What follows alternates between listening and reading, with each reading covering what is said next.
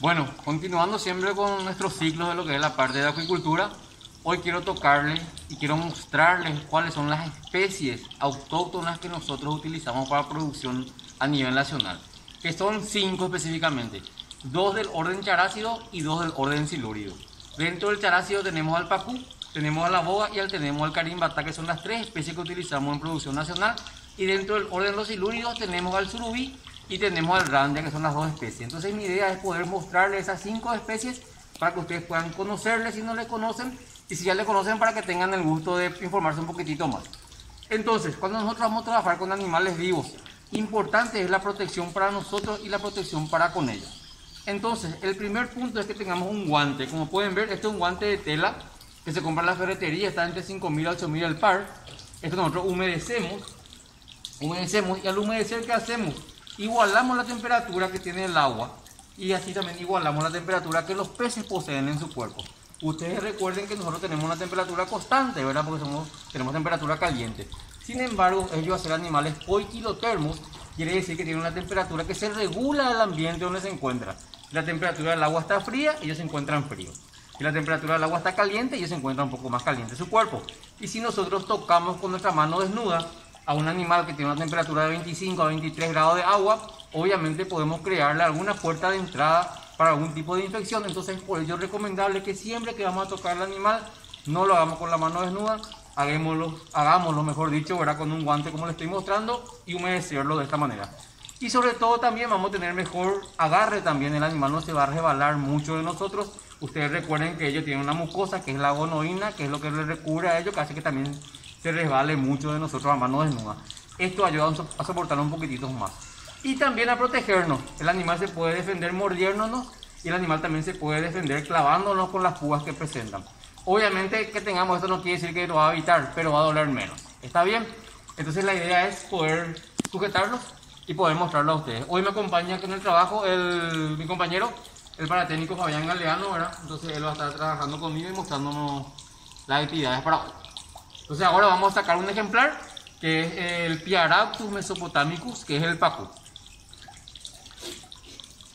Y siempre también, antes de sacarle al animal, lo que hacemos es con una toalla, como pueden ver, una toalla común y silvestre, humedecemos bien y con esa toalla vamos a liarle al animal para que al sacarle el agua al animal siga manteniéndose lo más húmedo posible y podamos nosotros estresarle lo menos posible. Como pueden ver, son animales fuertes, son animales ariscos, son animales que están bien alimentados, que una vez que les toca de su confort, se alteran. Entonces por ello, cuando nosotros vamos a alterar su ambiente o vamos a sacarle de su tranquilidad, hacerlo de la mejor manera posible, con los cuidados adecuados y de la manera más calma posible. Que ellos se pongan nerviosos es una cosa. Nosotros tenemos que mantener siempre la calma para que ellos también se tranquilicen. Entonces, una vez, como pueden ver, le lía completamente al animal con el material húmedo, me pasa siempre sujetando fuerte y ahí pasamos nosotros a una mesa para poder trabajar. Siempre cubrir el animal específicamente, como pueden ver, en la zona o en la región de la cabeza, en donde se encuentran las branquias, que es su órgano para hacer el intercambio gaseoso y el animal pueda mantenerse bien. Entonces mantener bien húmedo esa, esa zona Vamos a esperar que este animal se tranquilice un poco para poder mostrarle. Entonces, como le dije, el pacú. El pacú tiene como nombre científico Orochromys niloticus. Es un animal que en su ambiente natural puede crecer fácilmente entre 20 a 25 kilogramos. Puede alcanzar centímetros entre 45, 50, 55 centímetros. Es un animal nativo nuestro. Es un animal que se utiliza para piscicultura. Es un animal que para engordes sembramos un pez por metro cuadrado es un animal que entre los 15 a 18 meses de producción ya tenemos nosotros para cosechar. Llega al kilo y medio, kilo 800 aproximadamente. Es un animal omnívoro. Es un animal que sin ningún problema se alimenta de balanceado comercial que nosotros le podemos ofrecer, que se comercializa en el medio. Y también podemos complementar con granos, con semillas, con frutas, que son, que son alimentos que en su ambiente natural a él le gusta. Como pueden ver, es un animal charácido. ¿Qué quiere decir charácido? Que posee escamas, en este caso posee escamas pequeñas. Son animales que no poseen bigotes, que poseen dientes verdaderos. Esas son las características principales de un charácido. posee tres regiones para su estudio, la cabeza como pueden ver, que abarca lo que es la parte de los ojos, la parte de la narina, la, parte de la boca, hasta la parte del opérculo, que vendría a ser esto, que vendría a ser el opérculo o el cubre agallas. Por debajo, como pueden ver, se observa lo que son las agallas, que es el órgano respiratorio. Posteriormente, atrás de esto, todo lo que abarca, este vendría a ser el cuerpo. Vendría a ser el cuerpo, en donde se encuentran las aletas dorsales, las aletas pectorales, las aletas pélvicas, las aletas adiposas, etc. Y posteriormente, hasta esta zona, donde se encuentra la unión con la cola, vendría a ser el pedúnculo caudal o el músculo de la cola, que ya especifica lo que es la región de la cola. Entonces se divide en tres partes, la cabeza, el cuerpo y la cola para el estudio del animal. La idea nada más es un ratito poder mostrarles para que vayan conociéndole, para que puedan ver es un animal hermoso como pueden ver. Es un animal que a partir de los dos años a dos años y medio llega a su madurez sexual para poder reproducirse. Se reproduce una vez al año, solamente en época de primavera-verano. Te puede dar una hembra entre 1000 a 1500 óvulos por cada gramo que ella pesa. Y son animales sumamente eh, de interés gastronómico y culinario, conocemos eso. Entonces es por ello que a nivel nacional el pacú es la especie autóctona que más se produce. Un 11% de la producción nacional es pacú. El resto se divide en otras especies que, nos va a estar vamos a estar hablando más adelante. Entonces, el pacú es dentro del élite, vamos a decirle gastronómico, tenemos el surubí, dorado pacú o dorado surubí pacú, como ustedes quieran poner el orden, pero siempre el pacú está en tercer orden entre esos dos. Pero en cuanto a producción, en cuanto a engorde de el Pacú es el número uno con, en referente a ellos. Entonces, el Pacú. Ya de volver al agua. Ahora vamos a sacar la otra especie, que es la boa. Perdón, el carimatá vamos a sacar. El carimatá también tiene otra especie que se utiliza para producción. Es un pez forrajero.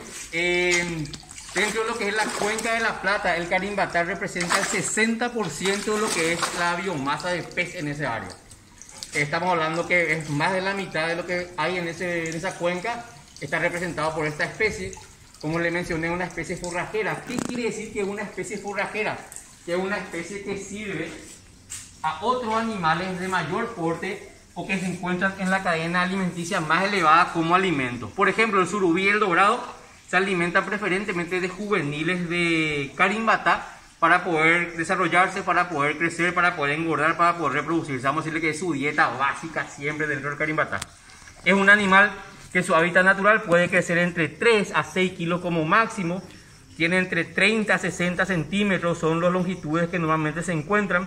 Son animales de fondo, son animales de fondo, son animales adaptados a lo que es la parte de piscicultura son, como pueden ver, igual que el anterior, es un charácido. ¿A qué llamamos charácido? Les recuerdo que tienen escamas, como pueden ver. Tienen los labios, no poseen bigotes. Estos animales, en este caso, poseen dientes filiformes, como pueden ver de esta manera. Son filtradores estos animales. Hacer animal de fondo lo que hacen es filtrar todo lo que se encuentra en el fondo como microorganismos para que puedan nutrirse de ellos por este hábito alimenticio que tienen de andar por el fondo filtrando, es que su pesca con anzuelo es muy dificultosa, entonces se pesca con redes y se buscan otro tipo de, de medios para poder capturarlo en su mente natural. Pero dentro de la piscicultura también se produce, también se engorda, se utiliza un pez por metro cuadrado para hacer engorde. Es un animal que llega a su madurez sexual también a los un año, un año y medio y tiene también el periodo de reproducción de primavera-verano, igual también que el pacú. Todos nuestros peces son peces de ámbito tropicales. Y hacer peces de ámbito tropicales quiere decir que la época de reproducción siempre es coincidente con cuando tenemos mayor elevación de temperatura, mayor producción de alimento en el ambiente, cuando hay mayor oxigenación, mayor corriente, mayor lluvia. Y las características del cuerpo lo mismo, la cabeza, eh, representada por los mismos órganos, el cuerpo y la cola. Entonces le presento al pacú, perdón, perdón, perdón, al carimbatá, que como nombre científico tiene el Prochilodus lineatus. Entonces le devolvemos al agua para poder sacar el siguiente ejemplar.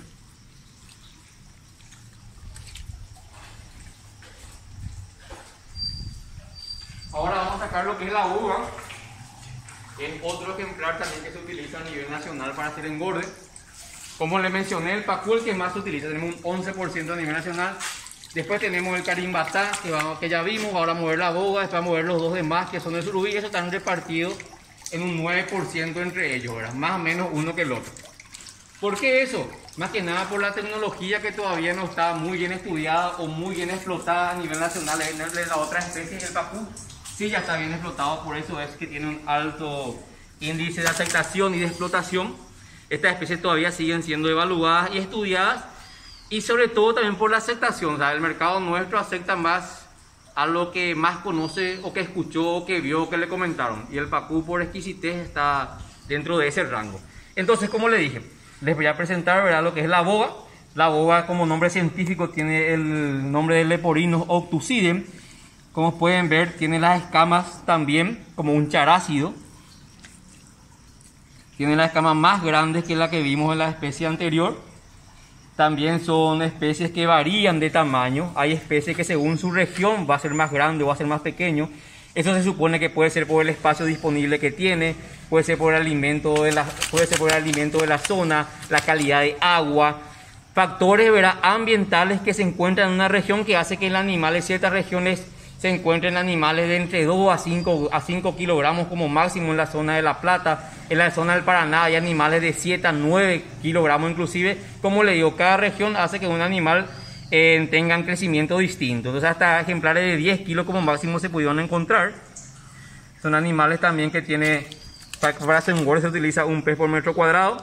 Periodo de reproducción vendría a ser lo mismo que le mencioné con las otras anteriores. Eh, animales que esto pueden ver, tiene dientes tiene dientes, cuatro, dos pares abajo y dos pares arriba, si es que se pueden ver. No quiero tocarlo, pueden morder. Ahí. ¿Ven? Son tipos rastroneros.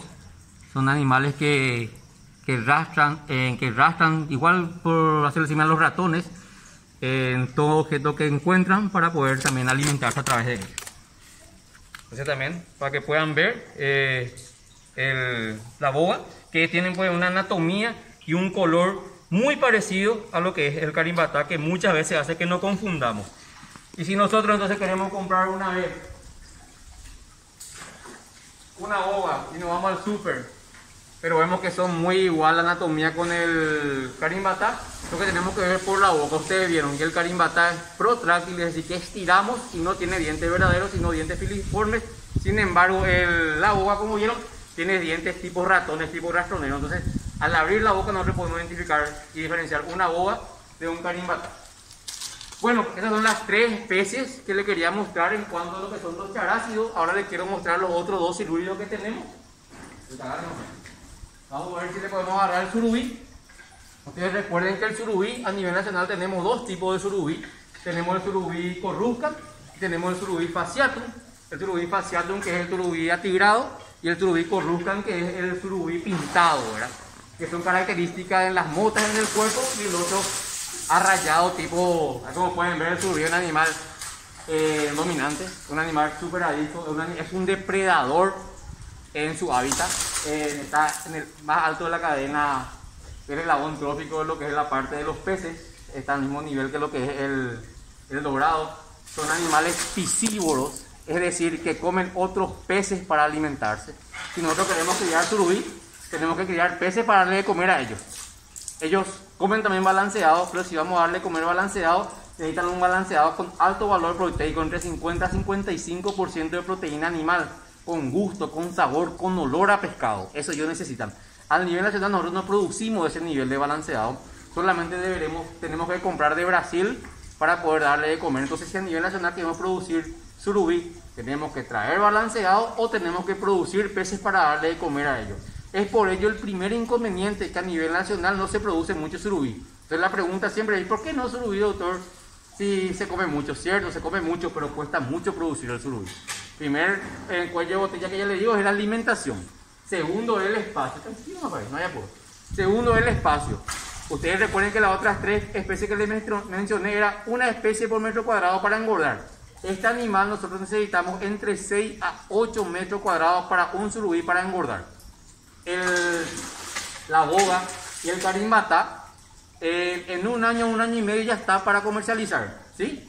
El, el Pacú le había dicho en 15 a 18 meses. Sin embargo, el surubí para comercializar entre 3 a 5 años llegamos al tamaño de comercialización. O sea que es más espacio, es más alimentación, es más tiempo, es más capital. Entonces son factores ¿verdad? que hacen de que este animal, a pesar de que sea muy apreciado y muy conocido, tenga esa dificultad para que nosotros podamos producir en estanque. ¿Se produce? Sí se produce. Hay las condiciones, hay las condiciones para darle, hay cómo producir, se gana plata y también se produce, pero como le digo, tiene mayores inconvenientes, mayores inversiones. Bueno, acá como pueden ver, ya le tenemos este, vamos a tratar de tranquilizar. Este vendría a ser un surubí corrusca, que es un surubí pintado, como pues, ¿por qué se lo llama pintado? Por las motas que presentan en el cuerpo de esta manera. Entonces se lo dice, se llama pintado. Este es un siluriforme, ¿se acuerdan que el otro era un charácido? Este es un siluriforme. ¿Qué quiere decir siluriforme? Que no presenta escamas. Como pueden ver, no presenta escamas, presenta piel lisa, no presenta escamas como pueden ver, presenta la piel lisa, así, son animales que también presentan bigotes, ustedes recuerdan que los otros no presentaban bigotes, sin embargo estos sí presentan bigotes, lo que quiero justamente poder mostrarles, presentan los bigotes como pueden ver, que son bigotes sensoriales, bigotes táctil, que ellos utilizan como dedos para poder en ubicarse en la zona para poder moverse. Son animales que no presentan dientes. Quiero mostrarles la boca. Ellos son peces succionadores, ellos succionan a su presa. No presentan dientes como pueden ver. ¿Ven?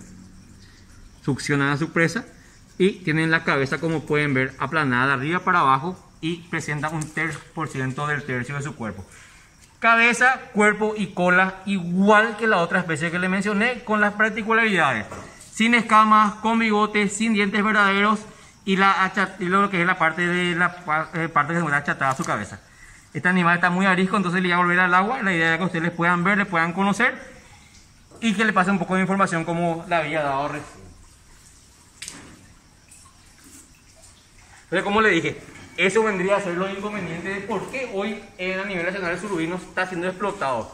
Se está ya trabajando con un proyecto con la gente de Taiwán, se está trabajando en conocer la tecnología, en implementar la producción, en implementar la reproducción, porque lo que cuesta mucho es poder obtener las larvas, ¿verdad? los alevines del surubí, porque son muy caníbales en su época de crianza. Entonces ahí hay un pequeño eh, manejo que hay que hacer y que estamos tratando de, de adaptarnos a él pero cuesta. Entonces, tiene unos cuantos déficits que su biología o su fisiología o su naturaleza hace costar que se pueda producir y no así con el papú que se adapta fácilmente a lo que es la producción. Después acá les quiero mostrar otro silurio, verá que vendría a ser lo que es la Randia Kellen, es un bagre también, también se lo, se lo conoce como Yurundi A también a nivel nacional, es una especie también que se opta para poder hacer engordes este bota va a poder hacer engorde, también es un pez por metro cuadrado. Llega a término de un año aproximadamente. Van a ver la misma característica que el surubí, pero obviamente en una versión más pequeña. ¿Ven? Tiene los bigotes, como vieron en el anterior. No presenta, no presenta dientes verdaderos, son succionadores de su alimento. Son depredadores, como estos comen peces pequeños, por ejemplo, por decirlo así. Tiene los bigotes. Presenta el cuerpo sin escamas, como pueden ver totalmente piel lisa. La cabeza aplanada como pueden ver de arriba para abajo y representando una sección importante de lo que es el cuerpo. Siempre representa un tres partes del cuerpo representación de la cabeza. Entonces ese es una randia, eh, ñurundia también conocido o bagre. Son animales también que son optados para hacer producción a nivel nacional dependiendo ¿verdad? ya del gusto de cada uno. Las especies que mencioné, que le mostré también mejor dicho, ¿verdad? son las cinco que más se utilizan para hacer producción nacional en piscicultura a nivel nuestro. Voy en orden otra vez. Pacú, Boga, Carimatá, Surubí y Yurundía. Ese vendría a ser el orden. Para recordarle, Pacú, ¿por qué? Porque es el que más se conoce y su tecnología está ya bien desarrollada. Las demás especies están siendo desarrolladas, se están conociendo y obviamente a mayor demanda eh, surge, una o, surge más una o surge menos otra. Entonces es por eso nomás que no se explota más esto o la otra. Y bueno, Espero de que hayan conocido los que no, no, lo conocían y los que ya le conocían, entonces espero que hayan eh, tenido un poco más de información referente a él. Gracias.